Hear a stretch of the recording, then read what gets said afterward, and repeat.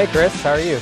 You know what? Uh, well, I'm doing pretty good, but I actually miss doing Weekend Watch. We yeah, we haven't done it in a while. Happy Happy Friday to you, bud. You too, my friend. You it's too. Hopefully, we'll keep Mother Nature fireworks let's, away. Let's hope we do. Well, making their making debut tonight is John Paris and Magnetic South, the Valdosta-based roots rock and alternative band is taking a break from recording a new album to play historic Grant's Lounge downtown. The group will play a mix of new originals along with audience favorites the show starts at 10. It's five bucks to get in. Again, that's tonight at 10 p.m.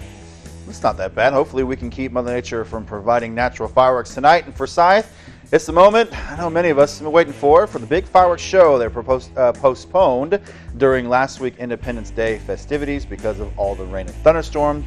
But as the big sparks are set to fly tonight at 9:30 at the Monroe County Recreation Department, and of course, it's free to attend and bring out the entire family. We've had bad luck with fireworks this year. Let's hope this one works out. I agree. Flint River Communications, formerly Flint Cable, is expanding better internet service to Middle Georgia to several areas in Middle Georgia, so they're throwing a huge party to celebrate. It's going on tomorrow from 10 to 2 at Crossroads Store.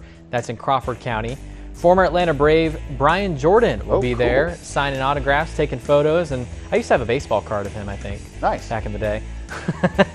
there will be all sorts of free giveaways. You can also get free lunch provided by Hudson's Barbecue in Roberta. That sounds like the best part, unfortunately for me. You know, loving barbecue food. What do you think? Better watch. You gotta watch what you eat, man. We've been we've talked about this, Christopher. Whoa, okay, I got you, Mister. We're both watching what we eat. we are. We're trying to help each other. Sometimes we epically fail. Sunday at the Douglass Theater, the Macon Film Guild presents Masquerade at the Douglass Theater. It's a story of a jester who bears a striking resemblance to the king and is chosen as a stand-in so the king can avoid assassination. Showtimes are at 2 p.m., 4:30 p.m., and 7:30 p.m. There will be a discussion of the film right after the 4:30 show. Tickets are only five dollars.